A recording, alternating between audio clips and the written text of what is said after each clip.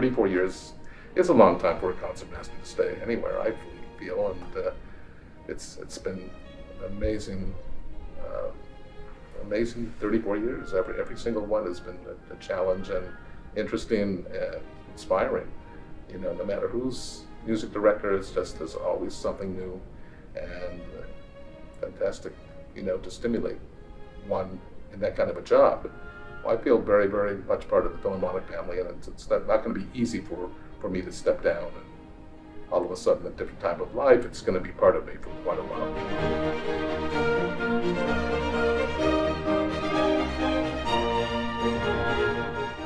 They were trying to go through the entire solo Strauss repertoire for concertmasters.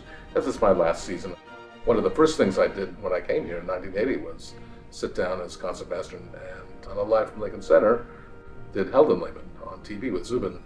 And, uh, you know, that's one way to get one's feet wet and, uh, uh, you know, trial by fire.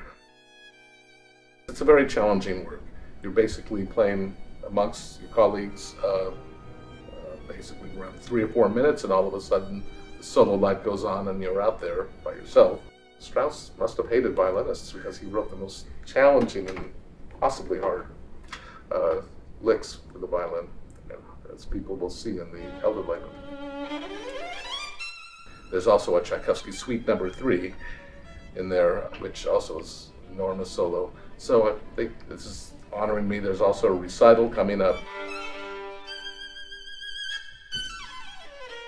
I wanted to be in a collaboration with my final concert here with at least one or two of my colleagues. It turned out, of course, Beethoven Triple, which I haven't done, Yefim Bronfman is going to be the piano soloist, and I've worked with him several times. Lovely guy, and with Carter Brey. So uh, I'm looking forward to that. It's one of my favorite pieces. With my uh, colleagues from the orchestra, we'll be doing some chamber music, and I'll be doing some sonata work. So it's uh, all in all, it's sort of a concertmaster fest uh, for the last season, and uh, you know I'll be working hard for the last minute.